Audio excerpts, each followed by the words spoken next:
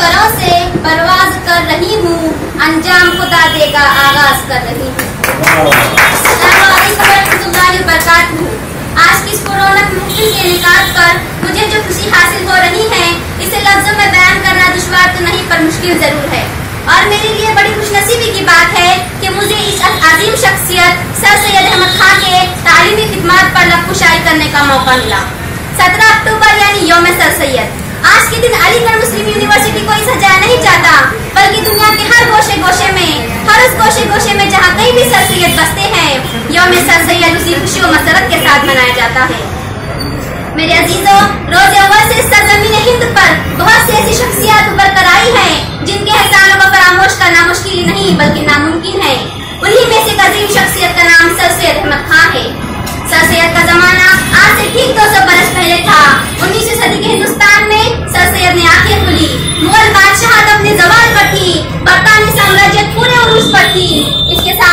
में सूरज डूबता नहीं था।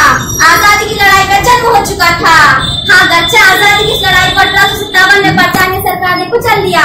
लेकिन फिर भी फिर भी इसमें एक सांस बाकी थी। सर सैयद अहमद खान इन तमाम चीज़ों को बहुत करीब से देख रहे थे। उनके दिल में इनकलाब पनप रहा था।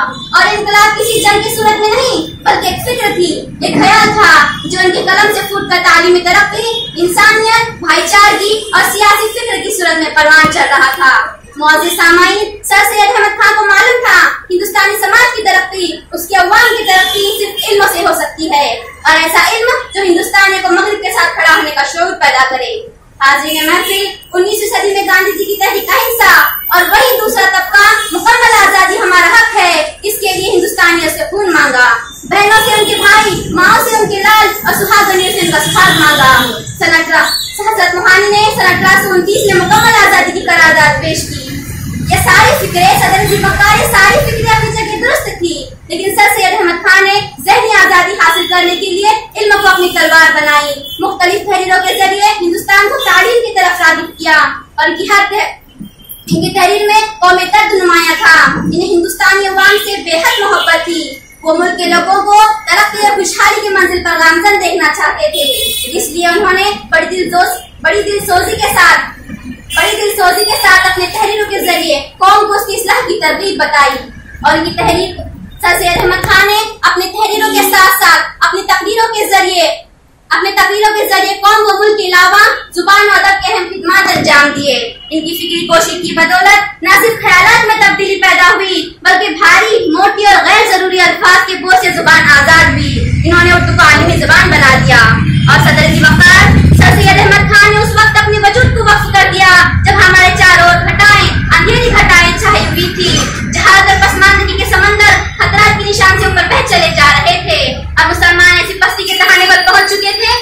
कि नामुमकिन थी, लेकिन अल्लाह को हमारी हालत इज्जार पर रहम आया मगर अल्लाह को हमारी हालत इज्जार पर रहम आया और उन्होंने सर सैयद खान के रूप में एक ऐसा मसीहा, एक ऐसा अता फरमाया जिसने मुसलमान की डूबते नैया को साहिल तक पहुँचा दिया। इसी का नाम सर सैयद तहरीक है, और हम इस तहरीक के अधा सिपाही ये दोस्तों, सर सैयद अहमद खान को हिंदुस्तानी और पाकिस्तानी मुसलमानों में एक मौसर शख्सियत के तौर पर देखा जाता है उन्होंने बात बड़ी शिद्दत के साथ महसूस की कि किसी कौम की तरक्की करना है तो उसका तालीम याफ्ता होना बहुत ज़रूरी है। इसलिए उन्होंने हिंदुस्तानियों को, मुसलमानों को तालीम की तरफ़ रागिब किया, मुख्तलिफ़ खिदमत अंजाम दिए, स्कूल और कॉलेजों को कायम किया। सर सैयद अहमद खान ने सन अठारह सौ उनसाठ में मुरादाबाद में एक फारसी मदरसा बनाया। इस मदरसे में अंग्रेज़ी और फारसी दोनों की तालीम दी जाती थी। सन अठारह सौ तिरसठ में गाजीपुर में विक्टोरिया स्कूल कायम किया।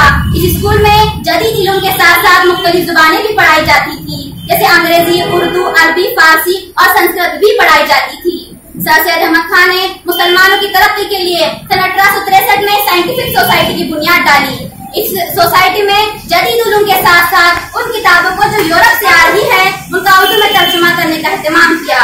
अच्छा मुसलमान अगर उस ज़ुबान नहीं जानते, लेकिन फिर भी उस फिर भी उलूम उनके तक अपनी मादरी ज़ुबान में पहुँच सके। सर सैयद अहमद खान को सन अठारह में जब इंग्लिस्तान जाने का मौका मिला तो वो ये इस तो यहाँ वो इस फैसले पर पहुँचे कि हिंदुस्तान में भी कैम्ब्रिज के तर्ज का एक तालीमी इदारा कायम करेंगे। और वहाँ का अखबार गार्डन से मुतासिर होकर सर सैयद अहमद खान ने तालीमी दरसगाह के अलावा मुसलमानों की ज़िंदगी में मुसलमानों की सकाफती ज़िंदगी में इनकलाब पैदा करने के लिए इस तरह का अखबार हिंदुस्तान में जारी करने का फैसला किया। और रिसाला तहजीबुल अखलाक का इजरा इसी इरादे की तकमील थी। इस इसी इरादे की तकमील थी। सर सैयद उर्दू ज़ुबान पर सर सैयद का ज़िक्र करते हुए मौलवी अब्दुल हक कहते हैं, इसलिए ज़ुबान उर्दू को पस्ती से निकाल कर अंदाज में सादगी के साथ कुवत पैदा की। संगीता मजामी का डोल डाला साइंटिफिक सोसाइटी की बुनियाद डाली, जदीद उलूम फनून के तर्जुमे अंग्रेज़ी से करवाए खुद किताबें लिखी और दूसरों से लिखवाई। अखबार जारी करके अंदाज नहीं किया, लाख तंजीद रोशन सहाबत का मरतबा बढ़ाया। रिसालत तहजीबुल अखलाक के ज़रिए उर्दू अदब में इंकलाब पैदा किया सर सैद अहमद खान मुसलमानों को जहात और बस्ती से निकाल कर बुलंदी और तरक्की की राह पर गामजन करने के लिए सन अठारह सौ पचहत्तर में मोहम्मद एंग्लो ओरिएंटल कॉलेज की बुनियाद डाली सर सैद अहमद खान हर वक्त हिंदुस्तानियों को आगे बढ़ने की तरगीब देते थे इनके इन्हीं ख्याल पर अल्लाह इकबाल का शेर सादिक आता है तू शाही है परवाज है काम तेरा तू शाही है परवाज है काम